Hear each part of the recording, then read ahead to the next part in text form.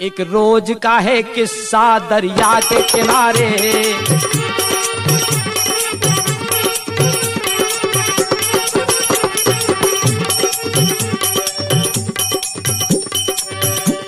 एक रोज का है किस्सा दरिया के किनारे।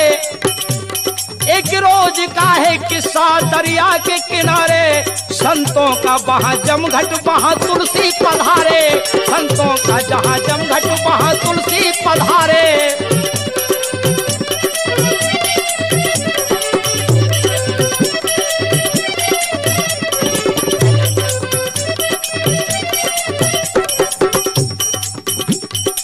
बाबा तुलसी ने कहा, संत महात्माओं से कि आज हमारे श्री राम आएँगे। संत कहने लगे और महात्मा कहने लगे कि श्री राम क्या आएँगे? राम जी का वास तो यहाँ हो चुका है। त्रेता युग में बारह वर्षों तक रहे। बाबा तुलसीदास जी कहने लगे कि नहीं, आज हमारे राम प्रत्यक्ष रूप में आएँगे, हमारे पास आएँगे। इतना मुझे विश्वास है।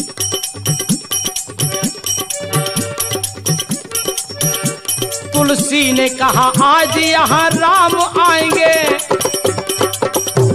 तुलसी ने कहा, आज यहाँ राम आएँगे। चंदन को घिस के हम उनके माथे लगाएँगे। चंदन को घिस हम उनके माथे लगाएँगे।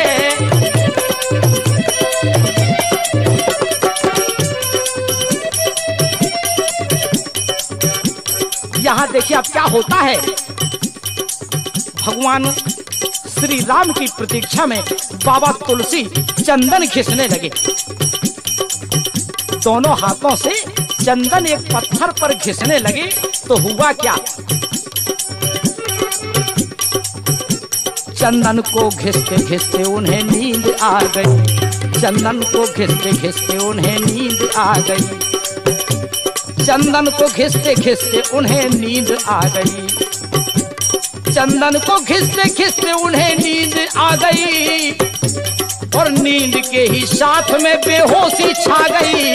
और नींद के ही साथ में बेहोशी छा गई।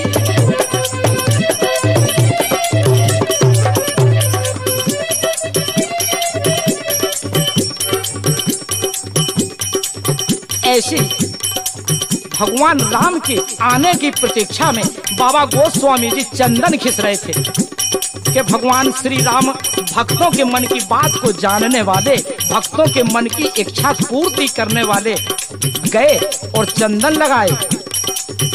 लेकिन बाबा गोस्वामी जी उस समय राम प्रेम में मग्न हैं, प्रभु चंदन लगाकर, चंदन लगाया भगवान। राम ने और चंदन लगा के चल दिए। इतने में जब गोस्वामी जी के नेत्र खोले, तुलसीदास जी महाराज के नेत्र खोले और उनने देखा कि ये मेरा चंदन तो कोई और लगा गया है, यहाँ तो चंदन है ही नहीं। अब गोस्वामी जी, पूज्यपाद गोस्वामी तुलसीदास जी महाराज अपने और साथियों और संत महात्माओं से पूछने लगे तुलसी ने पूछा, यहाँ अभी आया था कौन? तुलसी ने पूछा, यहाँ अभी आया था कौन? लोगों ने कहा, तुलसी तुम्हें हो गया है क्या? लोगों ने कहा, तुलसी तुम्हें हो गया है क्या?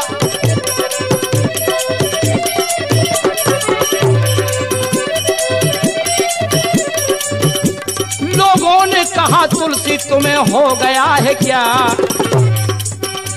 एक नौजवान आया, चंदन लगा गया।